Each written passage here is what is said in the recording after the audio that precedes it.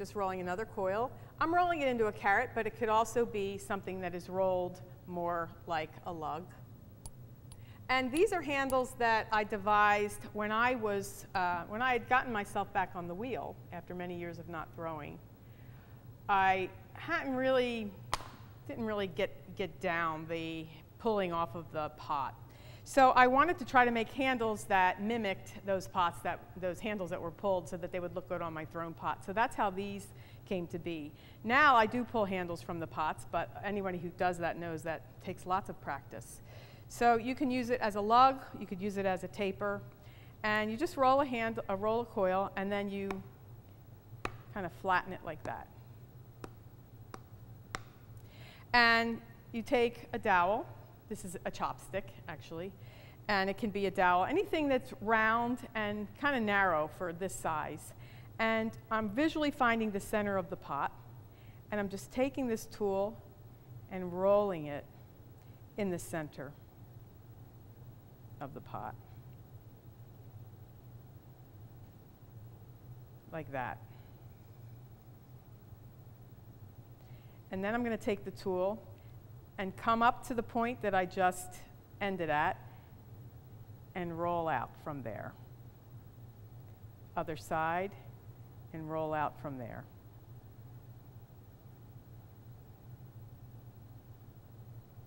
And go back in here again so that you have this. I always like those handles that have those ridges down the center. You have this, the ridges in place. And then I'll take a sponge. I, I've nicknamed this wet pulling, or flat pulling. And I just go with my sponge and the reason why I use the sponge is because clay uh, throwing is a very different speed. And so if I wanted to have handles that look nice with thrown pots, I wanted to have them look like they were wet. And I'm just continuing to pull this until I get these nice, nice soft edges like that.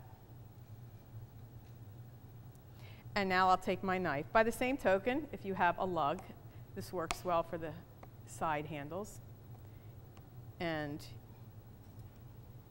again, any tool that's round, you're putting a little dent in it, and then doing one side and doing the other side. So it's here, and then here, and here, and then flat, drawing that sponge through it.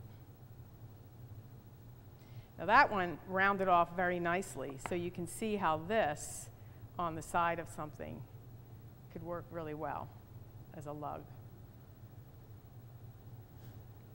This one, I'm going to trim because I want this edge to be a little more uniform. You can leave it like this if you like, but I'm going to just take this and trim it. Generally, I dip it in a little bit in the center. It's just a personal preference.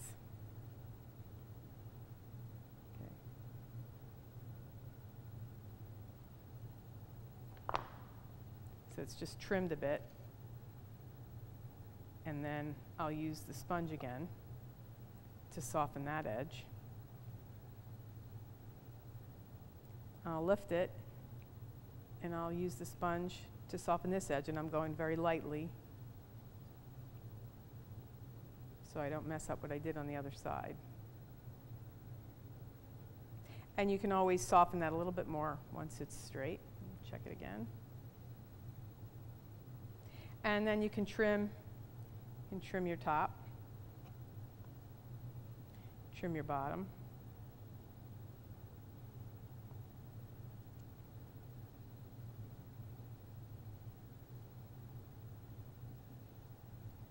And then that makes a nice handle.